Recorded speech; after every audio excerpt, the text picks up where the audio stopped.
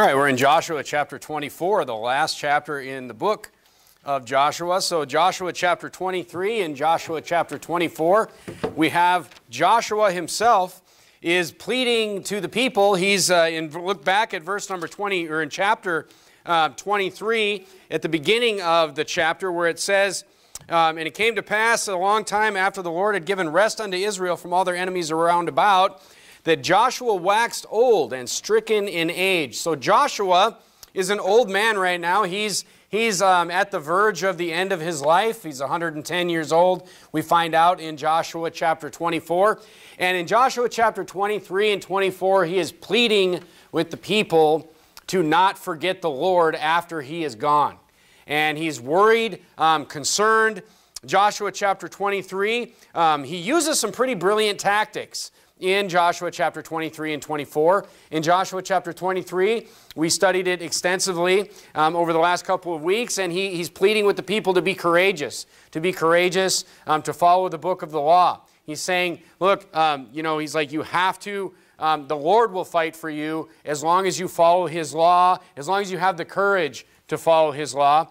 In Joshua chapter 24, Joshua continues his plead, his, his speech to the people but he uses a couple of different tactics here, um, and I'm going to show you what we can learn um, from those tactics. I'm not necessarily going to go through um, verse by verse in Joshua um, chapter number um, 24, but basically, um, all the way up to verse number 20. I'm going to go back and explain that in a few minutes.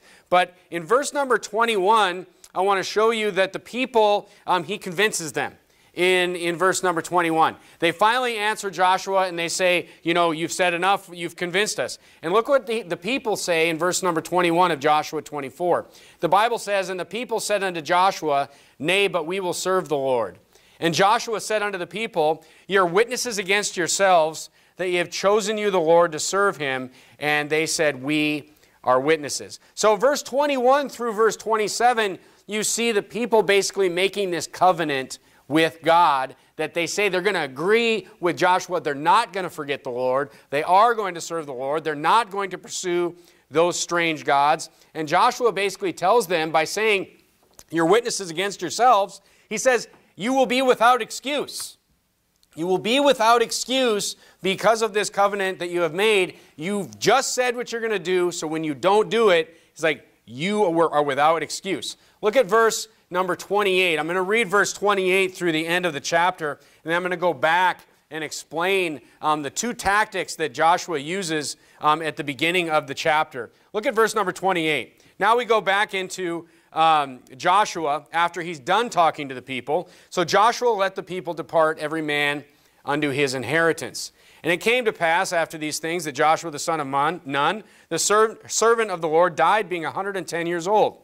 And they buried him in the border of his inheritance in Timnath Serah, which is in Mount Ephraim on the north side of the hill Gaash. And Israel served the Lord all the days of Joshua, and all the days of the elders that outlived Joshua, which had known all the works of the Lord that he had done for Israel.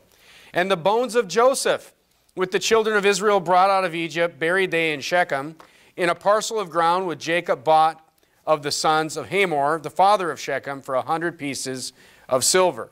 And it became the inheritance of the children of Joseph. And Eleazar, the son of Aaron, died, and they buried him in a hill that pertained to Phinehas' son, which was given him in Mount Ephraim. So Joshua has died, and you see that they brought um, the bones of Joseph um, with them through all of this, um, which shows you that the children of Israel, they had, they had a, a, a large, they put a lot of value on their forefathers. They put a lot of value on those that came before them. And the reason I wanted to read that for you, especially in verse number 32, where it shows you they carried the, the bones of this great man, this great, one of their patriarchs of um, the, the tribe, or one of the tribes, they brought all the way with them this whole time is because they put a lot of value in there. And this is what Joshua is using in Joshua chapter 24. He is appealing, number one, I'm going to show you the two things that he is appealing to in chapter 24. He has shifted from courage in verse in, in chapter 23, and now he's appealing to two other things. The first one is this. Go back to um, verse number 14. He's actually go back to the beginning of chapter 24. The first thing that he is appealing to is their loyalty, is their loyalty to God. If you look at chapter 24 and you just go through the beginning verses, we see all these things that Joshua is explaining and, and just expounding that the Lord has done for them. Look at verse number 3. And this is God, this is the words of God. This is God saying, And I took your father Abraham. Look at verse 4. And I gave unto Isaac, Jacob, and Esau. Look at verse 5. And I sent. Look at verse 6. And I brought. These are all things that Joshua is explaining that God has done for their forefathers. Look at verse 8. Again, and I brought you into the land of the Amorites. Look at verse number 12. And I sent the hornet before you. Look at verse 13. And I have given.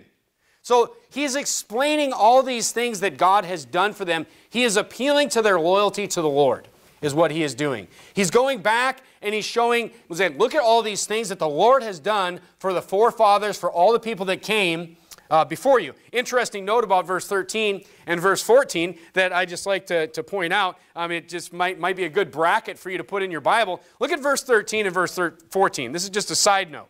And I have given you a land for which ye did not labor and the cities which ye built not, and ye dwell in them. Of the vineyards and the oliveyards which ye planted, not do ye eat. So he's saying, he's like, look at, I've given you all these things and you didn't work for these things. Look, verse 13 and verse 14 is basically the New Testament in those two verses. Look at verse 14. Now therefore, fear the Lord. So verse 13 is your salvation, and I have given you this great thing. Look, did you work for your salvation? Did you earn your salvation? It can be compared directly to verse 13. I've given you a land for which you did not labor. You did not work for your salvation. It was a gift. It is the gift of God. I have given to them eternal life, Jesus said. Look at verse 14. Now, therefore, fear the Lord. This is the entire New Testament. Since you've been given your salvation, now, therefore, serve the Lord. That's the New Testament in a nutshell. Now, therefore, fear the Lord. So, look, Joshua, back to the point, Joshua is just explaining, he's appealing to the loyalty of the people towards God, is what he's doing in, in chapter number 24. With all these eyes, these, I have done this, I have given you this, I have gone before you, um, I have brought you all these things. Look at verse 14 again. Now, therefore, he says, now therefore, fear the Lord, because the Lord has done all these things for you, and serve him in sincerity and truth. Put away the gods which, you know, your father served on the other side of the flood and in Egypt, and serve ye the Lord. Verse 15.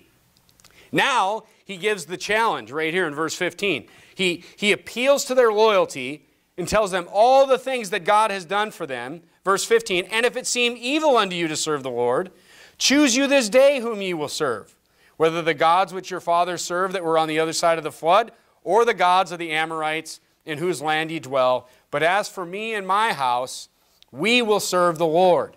So he puts this challenge in front of them. He's like, just pick who he's he look at what the Lord has done for you. Now choose if you're going to serve him, is what he says. And then the people respond right away. The people respond in verse 21 and 22. They said, We will serve the Lord. The people said. And Joshua said unto the people, You're witnesses against yourselves. He's like, You said it yourselves, you'll be without excuse. So it's pretty brilliant. He goes through a, a historical um, history of all the things that God has done for them, which, you know, any of us could look through, you know, the history of the Bible and see all the things, all the miracles that God has performed, both in the New Testament, the Old Testament, and see that great witness that God, um, you know, and just why wouldn't we serve Him because of that? That's what, that's what Joshua is appealing to. That's the first one. It's just appealing to their, their sense of loyalty to the Lord. Now, the second method he's using is this. Look at verse 32 again. And the bones of Joseph, which the children of Israel brought up out of Egypt, buried they in Shechem, in a parcel of ground which Jacob brought the sons of Hamor, the father of Shechem, for bought from the of the sons of Hamor, the father of Shechem, for a hundred pieces of silver, and it became the inheritance of the children of Joseph. So they brought one of the patriarchs' bones with them, and this is one of the reasons that Joshua brings up all the stories of the Lord working with the patriarchs. And he's appealing to the fact that they have a goodly heritage. is what he's appealing to. Turn to Psalm chapter 16. Joshua was so worried about Israel, and he knew generations that came after this current generation would struggle, that he was, he was appealing to them to recognize, to remember the heritage that they had been given, is what he's doing. Look at Psalm chapter 16. Look at verse number 6. He's appealing to their sense of the heritage that they've been given. Look at verse 16, or uh, Psalm 16 and verse number 6. The Bible says, The lines are fallen to me in pleasant places. Yea, I have a goodly heritage. So he's saying, look, he's basically saying to the people, You have a goodly heritage. He's like, look at what you have been given from the patriarchs, from the relationship that they had with the Lord. He knew that it was important with them. You know, just we know that it's important to them just from the fact that they brought some of the patriarchs' bones with them on, on all their journey of the battles and the conquering of the promised land. So he's saying, he's saying, remember your heritage. Remember where you came from. Remember who your fathers served. Remember the God of your fathers and serve him. So look, do you know that you have a heritage?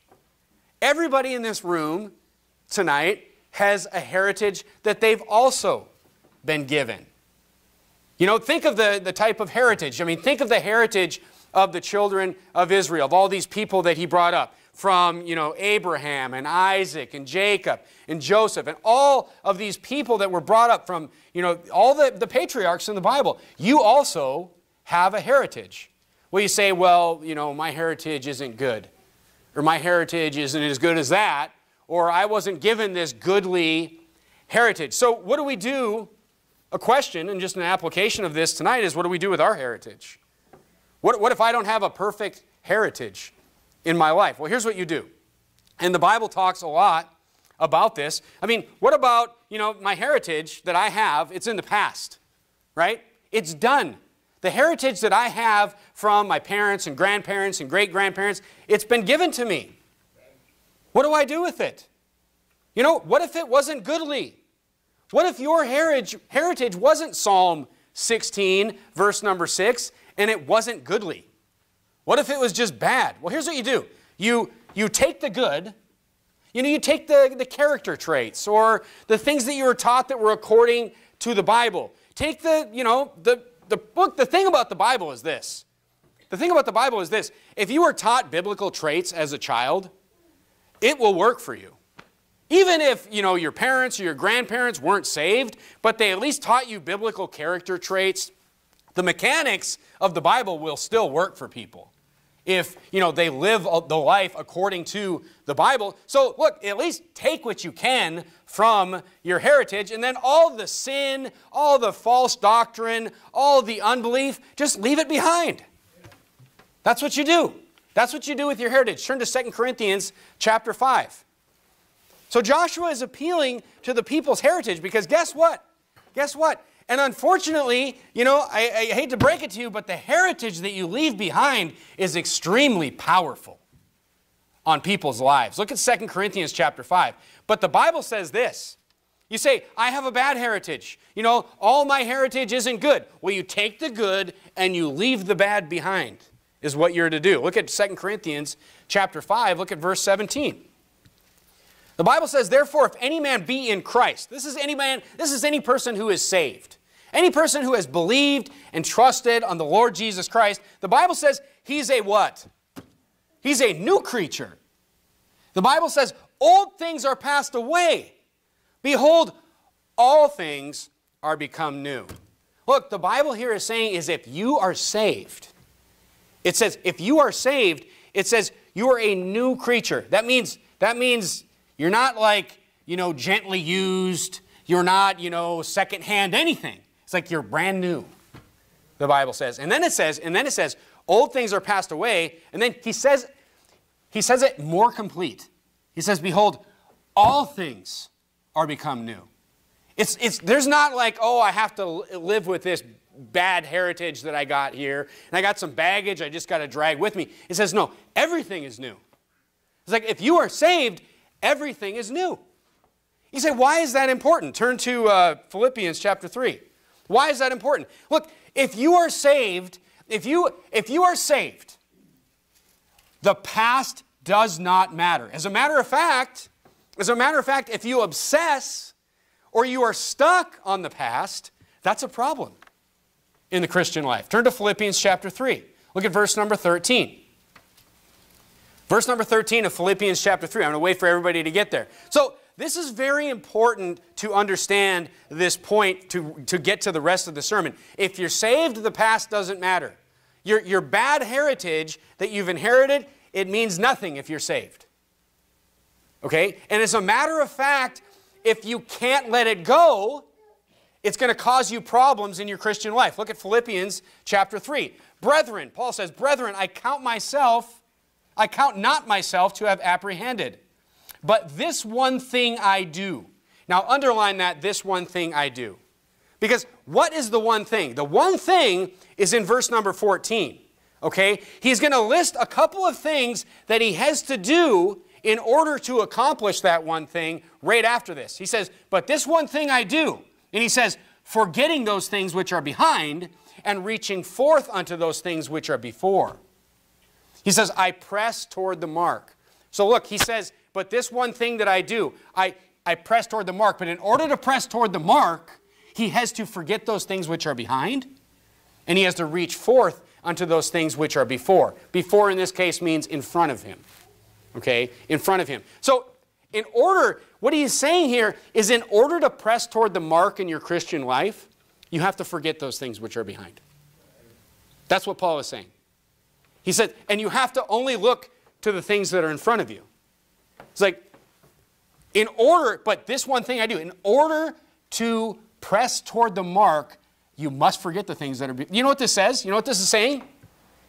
As you look back on a mar- marred heritage, if you have a marred heritage, you say, you know what, I didn't raise, I wasn't raised in a godly home, you know, I wasn't given good character traits, and you know, my parents never, you know, paid attention to the Bible, and I didn't get saved till later in life. The Bible here is saying, it's like, hey, that's great, but you're saved now. Now, if you want to press toward the mark, you have to forget those things which are behind you. Because people will not be able to go forward if they're looking back. The New Testament is very clear about that. Jesus is very clear about that. So don't look back on a marred heritage. You must let go of the bad, keep the good, and look forward, is what the Bible says. Now, that's what, jo- that's what Joshua is saying. He's appealing to this goodly heritage that they had in, in the past.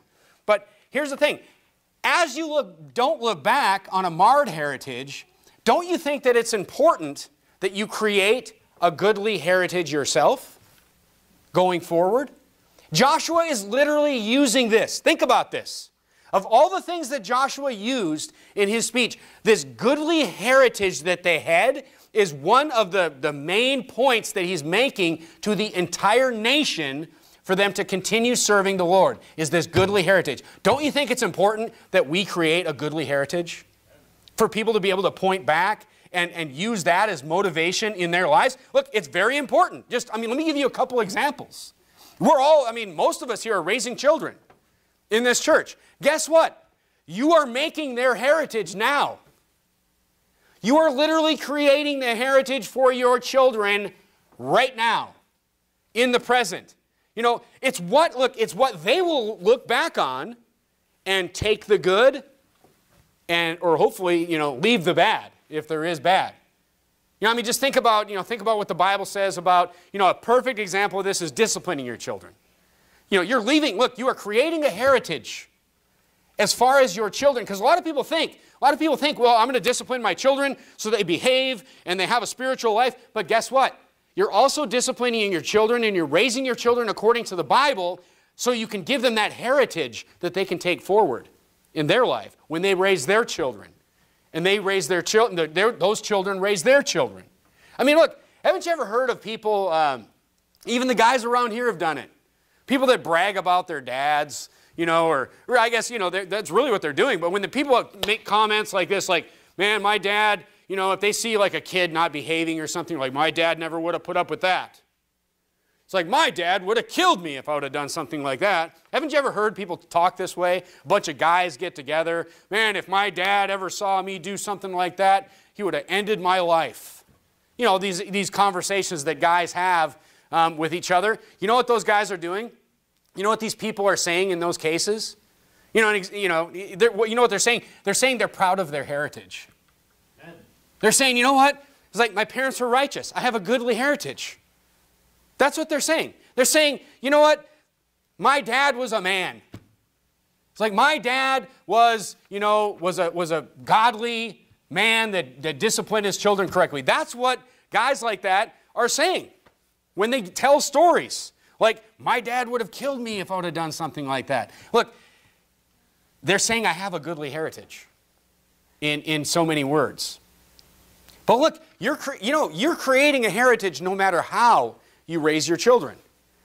That's another thing that we need to think about. I mean, it's either good or bad, but it's a heritage all the same. I mean, if you spoil your children, you're still creating a heritage. It's just a bad one. And it's a bad one, and it's one that your children will have to leave behind if they want to get moving forward in their life. And the problem, though, is, folks, is this many people can't leave a bad heritage behind. I mean, people's past ruins them. You have to think about this. People's past ruins them. Look, if, if this wasn't true, if this wasn't true, then everyone that got saved would just serve the Lord and be a great Christian. But why don't they? Why don't they? It's because their past ruins them. It's because they're focused looking back on a bad heritage. Or maybe they've embraced the bad heritage. Maybe they're not focused looking back and bitter about it. Maybe they've just embraced it. And they've, they've thought it, they thought it was normal. They thought it was good. Go to Proverbs chapter 13. Proverbs chapter 13. I mean, just this idea of children and the heritage that we are giving them is a huge deal in the Bible. Look at Proverbs chapter 13 and verse number 24. Proverbs chapter 13 and verse number 24. Now, I mean, I'm just I'm using disciplining children as just one example. Yeah, but I could give many examples of the heritage that we are leaving behind. Look at verse 24 of Proverbs 13. He that spareth his rod hateth his son. But he that loveth him chasteneth him betimes. That means speedily. That means, you know, when they need to be chastened, it's done right away. There's no, I'm going to count backwards from 10, 9, oh, I'm going to count to 3. No, it's speedily. That's what it means. Now turn to Ephesians chapter 6. Turn to Ephesians chapter 6. So the Bible says, and we've, we've studied this many times, if you don't spank your children, if you don't punish your children, you hate them, is what the Bible says. It says, you know, he that spareth his rod hateth his son. It's kind of the opposite of what they're teaching today. Right. Look at Ephesians chapter 1. But let me show you what the Bible says here. The Bible gives us the other side of this as well. The Bible gives us not just the warning in Proverbs chapter 13 and verse number 24, but the Bible actually gives us what's going to happen if you don't do it. It gives us the answer. Look at verse uh, number 1. It says, Children, obey your parents in the Lord, for this is right. Honor thy father and mother, which is the first commandment with promise, that it may be well with thee and thou mayest live long on the earth. So we're giving some commands to the children here. We're giving some commands to the children. Then verse number 4, we have um, some commands to the parent or to the father specifically. It says, And ye fathers, provoke not your children to wrath, but bring them up in the nurture and admonition of the Lord. So it says, Fathers, don't provoke your children to wrath. That means anger. It says, instead, to avoid provoking your children to wrath against you. So the first three verses are just, you know, kids, you listen to your parents. This is the whole, this is, this is the whole family answer right here in Ephesians chapter 6. Kids, listen to your parents, verse 1, 2, and 3. Verse 4, parents, don't provoke your children to anger. What do you mean, provoke my children to anger? How's that possible? How could that, how could that ever be possible to provoke my children to wrath against me? Well, don't bring them up in the ways of the Lord, it says in the last part of the verse. It says, instead, bring them up in the nurture and admonition of the Lord. Proverbs 13 24. It says, if you spare your rod, you hate your son. Here's what people don't understand most people don't discipline their children because they want to love them, they want to be loving towards them, they want to make them happy. Do you understand what I'm saying? The Bible says the opposite is true. The Bible says if you don't, and, and the opposite is true in both directions. Don't miss this. If you don't discipline your children using the rod, you hate them. And as they realize that that is their heritage that you have given them, they will hate you. What the world's teaching isn't true. But I don't want to spank my kids because I read a book 25 years ago that says that's mean. No, the Bible says that it's hateful to not do that. The Bible says spanking your children is loving them. And the results, and if you're old enough, if you're old enough, like me, you've seen this happen many times. You've seen children that were not disciplined properly turn against their parents. You've seen children that were not brought up in the ways of the Lord hate their parents, turn on their parents. Their, their parents provoke them to wrath by doing what? By not spanking them. If you got to break it down that simply, by not bringing them up the way God said. And guess what? You want to make them happy, you will never find a more miserable child than a spoiled child. Kids screaming and crying constantly. Look, you want to make them happy? You chasten them. Don't spare the rod. Because when they realize that you have given them a bad heritage, the Bible says in Ephesians chapter 6 and verse number 4, they're going to hate you for it. They're going to turn on you for it. Because they're going to, you know what they're going to realize? Think about this. Let me just make it practical for you. You don't spank your kids. You don't discipline your kids. You don't bring them up the way the Bible, that's your heritage that you're handing to your kids. You don't bring them up that way. You expose them to the school. You expose them to the wickedness. You expose them to everything that everybody, and guess what? They just go into all kinds of filth and sin, and people get a hold of them and hurt them. You know who they're going to blame? They're going to blame you. Because you hated them. Because you didn't protect them. They're going to grow up to realize that they have a bad heritage. They're going to grow up to realize, you know what, my dad wasn't strong enough. They're not going to be the guy in the corner of a Baptist church saying, oh, my dad wouldn't have put up with that. My dad would have, oh, my dad would have brought the house down on my head if I would have done something like that. They're going to be the guy that sits there and says, you know what? My parents didn't protect me. My dad was a weakling. My dad didn't care, is what they're going to think. I've seen this so many times. The Bible, look, the Bible is so true. It has all, look, no matter what we think, just, just follow it by faith. Just read it, trust it, and do it. I'm never going to stop saying that. Just read it, trust it, and do it. Just listen to the Bible. You, look, the Bible sees these things coming before we do. So think about that heritage. This is just one example. Just one example of the heritage that we're leaving. Just raising our children, disciplining our children properly. Think about, think about your marriage. What kind of heritage are you leaving with your marriage. You know, if, if you have a terrible marriage or you have, you know, failed marriage or failed marriages or whatever, I mean, look, this is, this is the heritage that you are leaving your children. Husbands, are you loving your wives? That's a heritage that you're leaving your children. Wives, are you submitting your husbands? Submitting to your husbands.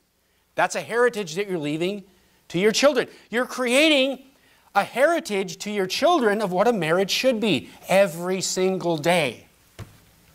Every single hour that you are with them, you are creating a heritage. Look, daughters are going to become wives. Sons are going to become husbands. How are you how what kind of heritage are you giving to your daughters on how they should be treated by their future husband? What kind of heritage are you giving to your sons on how they should treat their future wife? This is being created every single minute in your families, this heritage. Is it a good one? Or is it a bad one? Now, really, what Joshua, I could go on and on and on. Every single thing that you do in your life, whether it's according to the Bible or not, is creating a heritage that you are passing on, whether you like it or not. This is what Joshua was appealing to. Now, really, what Joshua was getting at here was he was talking about a spiritual heritage. Now let's talk about that. Now this is where it gets really interesting because this is really Joshua's main point of the heritage. He's talking about the heritage of the Lord. I mean, as you think during this sermon, as I'm sitting here and I'm reading these things off, the heritage that you're creating right now, you're probably thinking, hopefully you're thinking, ah, oh, you know, the heritage that I'm leaving, It has imperfections. It has imperfections. It's not perfect. I could do better here. I could do better there. But ultimately, what Joshua is calling out here is the heritage that God left us. He's calling out the heritage that God left the children of Israel from Noah to Abraham to Isaac and Jacob to Moses and Aaron and now us. Joshua is saying, This heritage, look, the heritage he's demonstrating with all these I did this and I gave this and I took you out and I brought you out and I gave you the land. He's demonstrating the heritage throughout all these generations. The heritage from the Lord was perfect. There was nothing wrong with it. Look, there was never a falling away from God's side. There was never a time when God was just, he was too preoccupied with something else to properly give that, do the right heritage with the children of Israel. By the way, this same appeal, look, God's, God's heritage to us was perfect. There is no mistakes in it, is what Joshua is getting at in the first half of Joshua 24. By the way, this same appeal we see somewhere else in the Bible. Turn to Acts chapter 7. It's pretty interesting. As Joshua, he goes through the heritage of the Lord. He goes through all these wonderful things that God has done for you, for your forefathers, for your fathers' fathers, and he just lists all, he just gives a history of everything that the Lord has done perfectly for you. Look at who else does this. Stephen in Acts chapter 7. He gives the same type of speech. He's just, he's just explaining to the Jews that were listening to him he was explaining. He's like, look, look at how perfect God's heritage was towards you.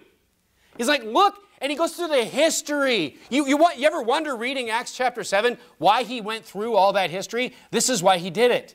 To explain to them how bad they are. To explain to them, look, God was so perfect towards you. Then look at verse number 52.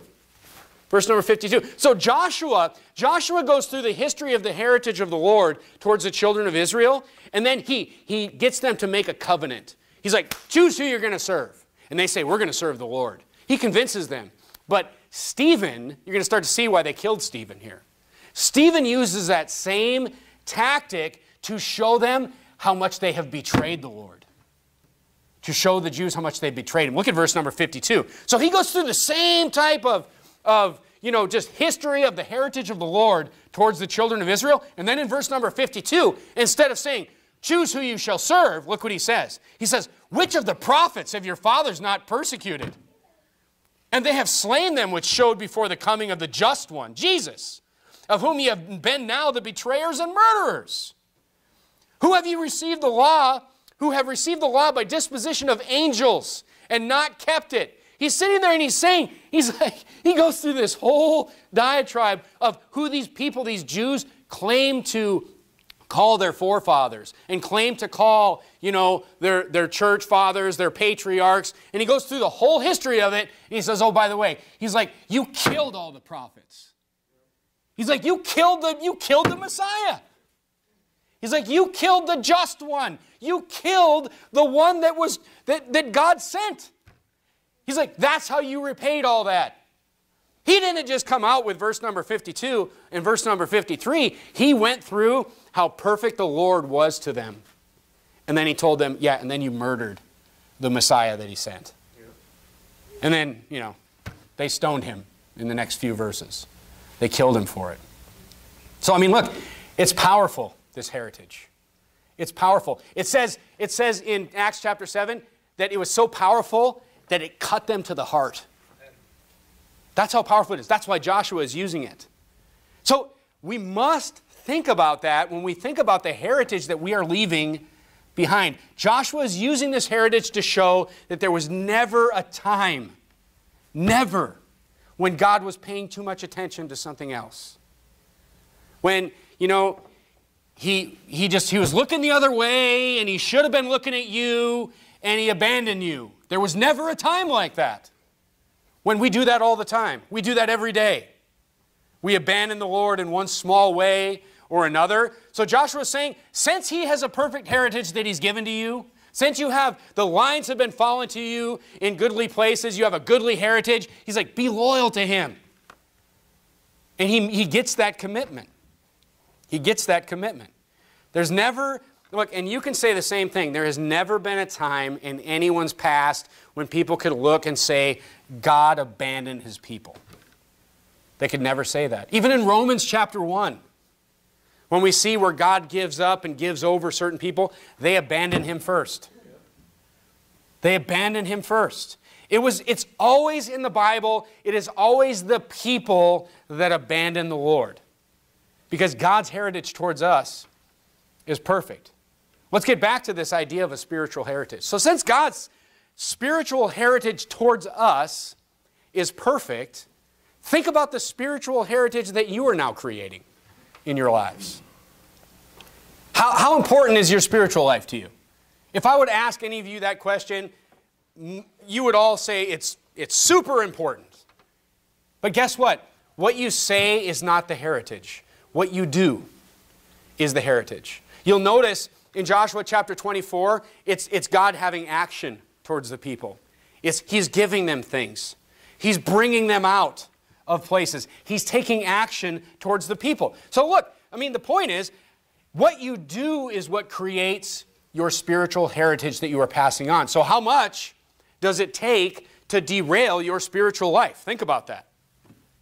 How much does it take? Think about how much it takes to derail your spiritual life. That's your heritage that you're leaving. What you do, remember, is your heritage. I mean, how often, how often do you veer away? How often do you veer away from the Lord? Daily. That's your heritage that you're leaving. How often, you know, do you have a spiritual life at your home? Say, I come to church, but do you have a spiritual life at home? That's your heritage. Do your kids see you pray? That's your heritage. Do you read the Bible? Do you read the Word of God at your house? That's your heritage that you're passing on. Do you read the Bible to your children? That's your heritage that you're passing on. Do you, do you talk about do you talk about God's word at your house? Do your kids come in here preaching, come to church, but you just never talk about the word of God in your house? Do you talk about God's word in your house? That's the heritage that you're leaving behind. Do you teach it to them? Do you teach the Word of God to your children? That's the heritage that you leave behind. You say, How often am I supposed to teach it to them? Turn to Deuteronomy chapter 6. You say, How, how often? I mean, how often should I talk about the Word of God? And how often should I uh, read the Word of God? And how often should I, should I do these things? Go to Deuteronomy chapter 6 and look at verse number 6. And these words, these words, which I command thee this day, shall be in thine heart. See, the thing is, if you read the Word of God on a regular basis, you will ponder the Word of God. You will think about the Word of God. You will read the Word of God and you will go to work and you will be thinking about things that you read. It will be in your heart, the Bible says. And then, and thou shalt teach them diligently unto thy children, and shalt talk of them when thou sittest in thine house, when thou walkest by the way, when thou liest down and when thou risest up. Do you talk about these things? Do you teach them to your children diligently? This is your heritage that you are creating for your children. Now. You say, when? Now. You're creating it now. It's like, I'm gonna, my kids are young. I'm gonna get it together in a couple years. Look, you're creating it now.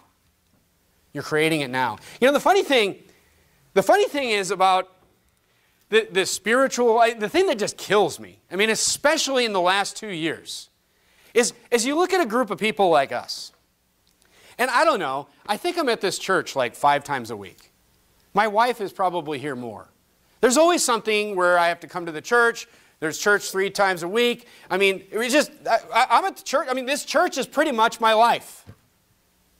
And you think about you know, people that are just fighting this and just, they don't, you know, they just, one small thing happens or someone sneezes and they're just like, they're just knocked out of the, you know, knocked out of their spiritual life. Any little change happens, we move buildings and people are just like, oh, we can't come to church anymore or whatever. I mean, the thing that just kills me about it is this. It's like, you know what everybody else is doing? It's not like it's not like there's like this great life out there. I mean, this is the great life. Amen. You know, this is the great life. I mean, you talk to everybody else. I looked it up. I, I looked the every time I look up this statistic, it gets worse. It gets way worse. You know that between TV, video games, and cell phones, average Americans are in front of one of those things for over 10 hours a day. You say, what do people do? What do people do when they don't come to church? What do people do if they don't go to a church five times a week? What do they do if they don't volunteer to come clean? Or what do they do if, you know, they don't have all these different things going on with the church activities and the opening weekends and all that? You know what they're doing? They're watching TV. That's what other people are doing. They're watching TV by themselves. What did you do this weekend? Oh, nothing. Watch TV, played video games. This is what people are doing. They're wasting their lives. They're literally wasting time. So it's not like there's this great, like, fun thing that's going on. They, I mean, people are just literally wasting their lives. I mean, they're consuming media. That was actually the, the, uh, the topic of, of the poll. People consume, people in the United States consume 10 and a half hours of media every single day. That's insane. That's crazy. That's what everybody else is doing. It's a complete waste of the heartbeats God gave you. I mean, it's a complete waste of the breath God put in us. I mean, instead, you could be serving your life with the Lord. I don't know. How about, like, you know, making a difference in people's eternal destinations? How about going out and trying to, like, instead of sitting there watching the news and complaining about this country, how about going out and maybe preaching the Bible to people in this country that have forgotten the Bible, which is the whole problem in the first place? I mean, look, we're the ground forces here. We're the only ones doing anything. I literally have people that will call me and just sit there and they watch Fox News for 12 hours a day and just complain about the country to me. And I'm just like, you know, why don't you do something? Why don't you do something about it? You know, these are the same people that are like, oh man, you know, everybody needs to move out of California. Why? Why would we give the nicest places in the country to the craziest people in the country? It doesn't make any sense. It doesn't, since when did we, be, we Christians become that type of people?